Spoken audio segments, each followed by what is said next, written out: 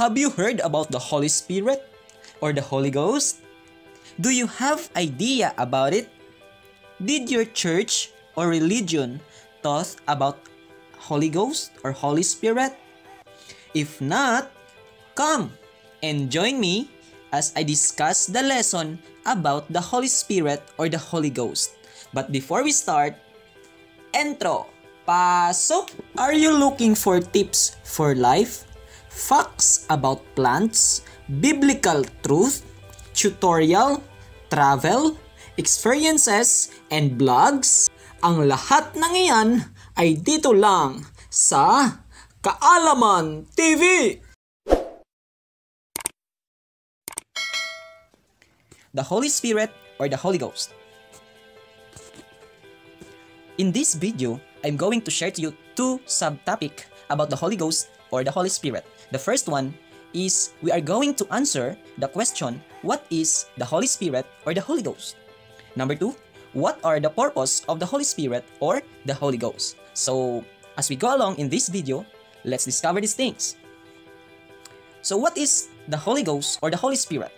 Number one, that is God's new manifestation. According to John chapter 4 verse 24, God is a spirit and they that worship him must worship him in spirit and in truth. So the first statement here is God is a spirit.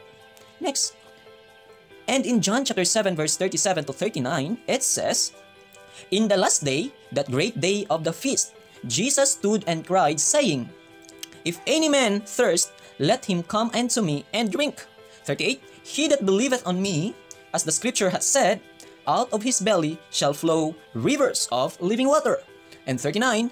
But this spake he of the Spirit, which they that believe on him should receive. For the Holy Ghost was not yet given, because that Jesus was not yet glorified. So that is number one, God's new manifestation. Number two, the Holy Spirit or the Holy Ghost is a gift. Yes, you heard it right. It's a gift. According to Acts chapter 2 verse 38, it says, Then Peter said unto them, Repent and be baptized every one of you in the name of Jesus Christ for the remissions of sins, and ye shall receive the gift of the Holy Ghost. So when we talk about Holy Ghost, that is a gift. I love gift, and I'm sure you too love gift. And so Luke chapter 11 verse 13, If ye then being evil, know how to give good gifts to your children, how much more shall your heavenly Father give the Holy Spirit that ask him?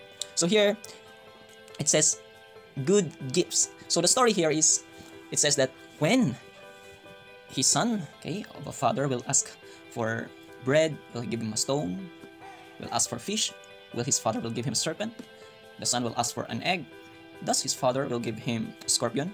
Of course, it will not. So even we, people, we are evil.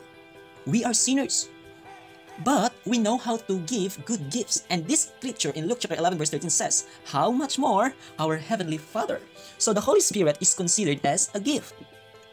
And number three, the Holy Spirit or the Holy Ghost is the comforter. Do you need comforter? Mm-hmm. Yeah. All of us need some comfort because every day, every day, we struggle, we encounter trials, problems, loneliness, and we need comfort. And you know what? Holy Ghost or the Holy Spirit is our comforter, the best comforter that we can have. John chapter 15 verse 26 says, But when the comforter is come, whom I will send unto you from the Father, even the Spirit of truth, which proceedeth from the Father, he shall testify of me. But when the comforter is come. Okay, so here in this uh, story, there is no Holy Ghost yet because Jesus has not, did not yet been glorified.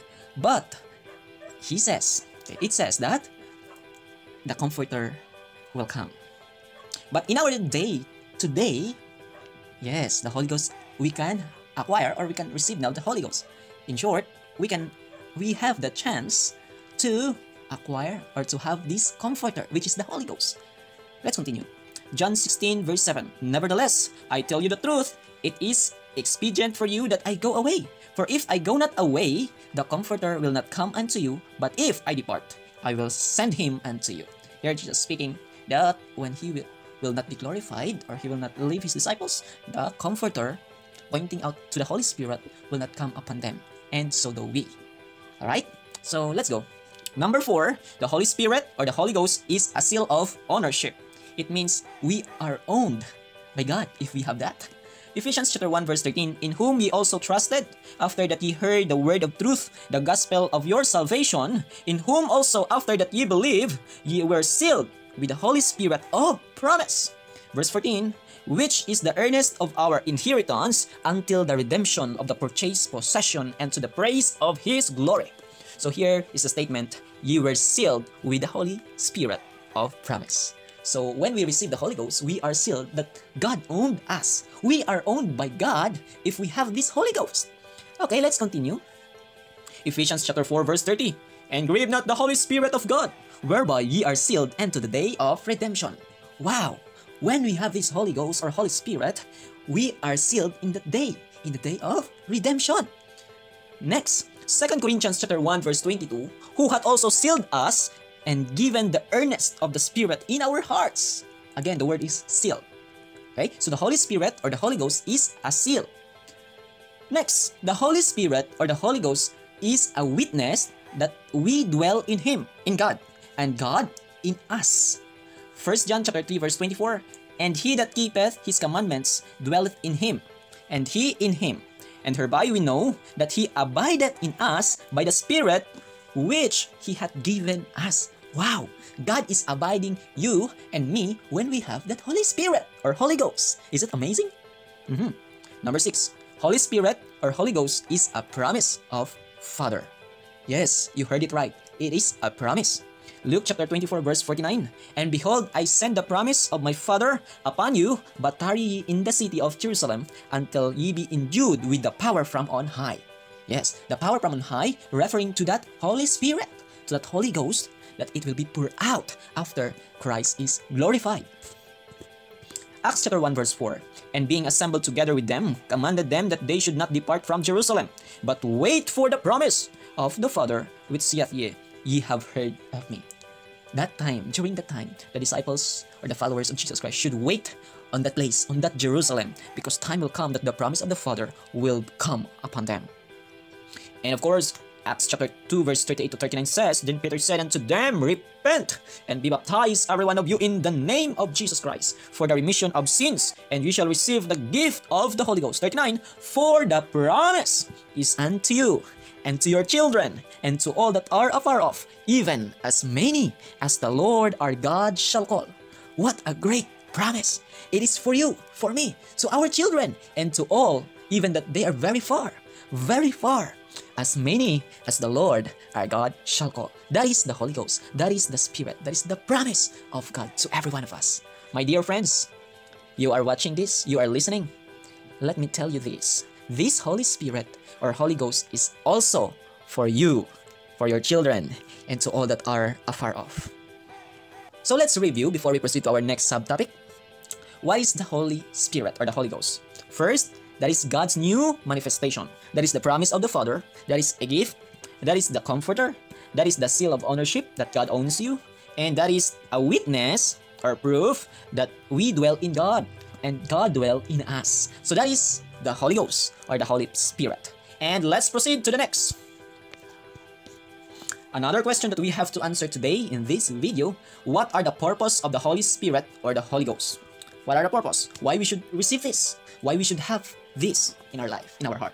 Number one, it's because it brings rest, peace, and joy in your life. It brings rest, peace, and joy. Isaiah 28 verse 11, For with the stammering lips and another tongue will he speak to, his, to these people.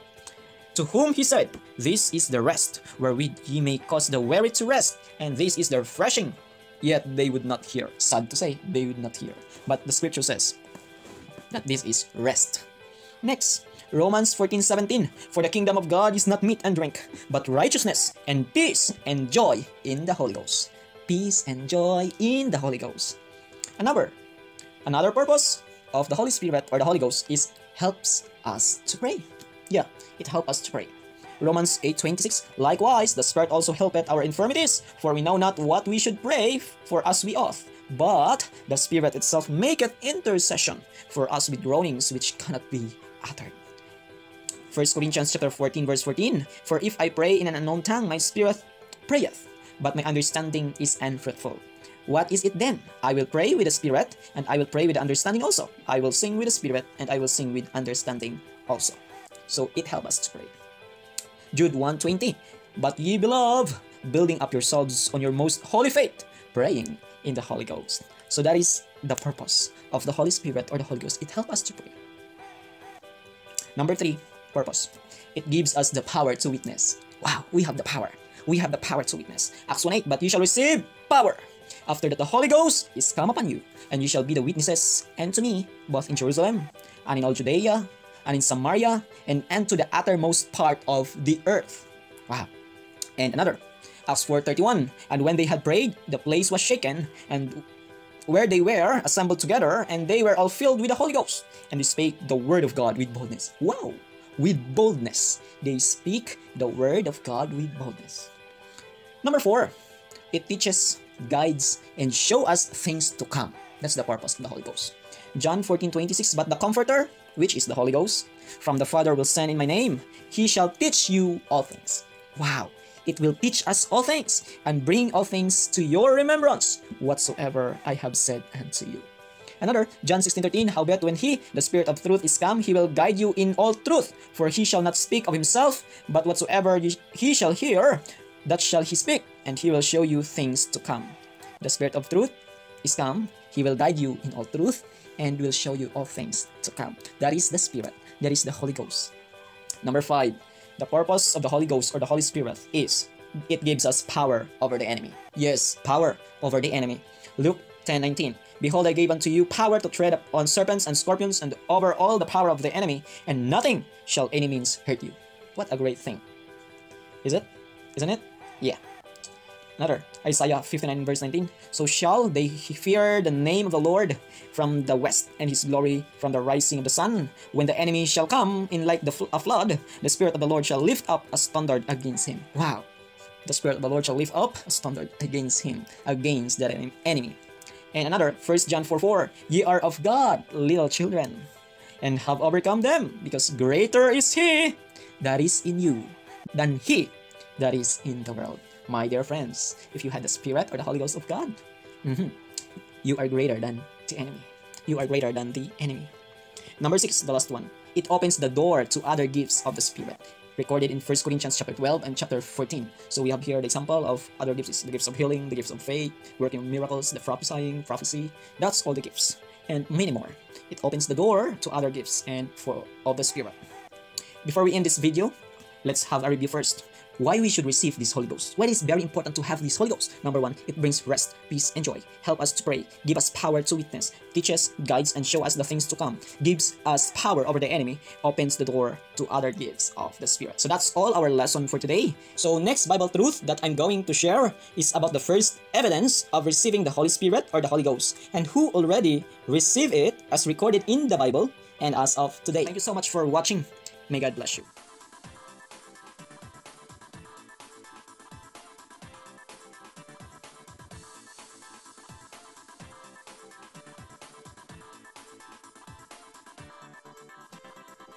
Yun lamang po. Maraming salamat sa panonood. At kung ikaw ay bago sa channel na ito, aking kitang inaanyayahan na mag-subscribe at i-click ang notification bell para maging updated ka sa susunod naming mga video. Usapang kaalaman ay isang usapang makabuluhan. Yun lamang, paalam!